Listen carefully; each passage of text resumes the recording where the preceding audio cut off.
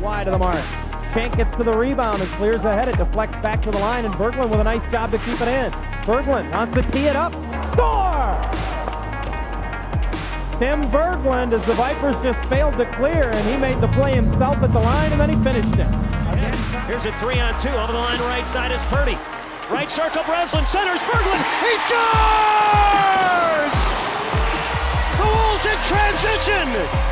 Generate a three on two. Breslin And what a beautiful pass it was from Breslin to Berglund. Berglund decided to get more playing time at CC. Mike went to CC. Snyder shot, rebound, Roussel scores! JP Testwuide went to the net, and that was a free rebound for Roussel. Somebody's got to collect it. That's a beauty, absolutely. Trying to work away from the defenseman Spang to the point. Cannot control. Little wrist shot through. Rebound out in front.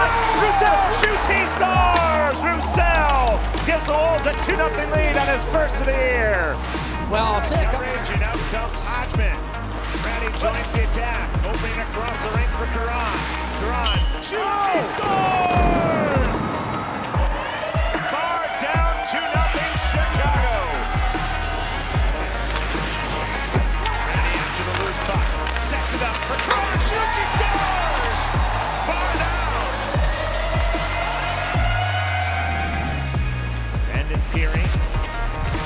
The league in points and goals when he was recalled December last year never returned by the Vegas Golden Knights. Here's Pirri, fires, he scores!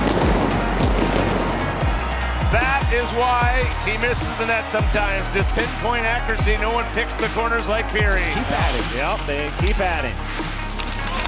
Here's a chance out of front for Pirri. He scores!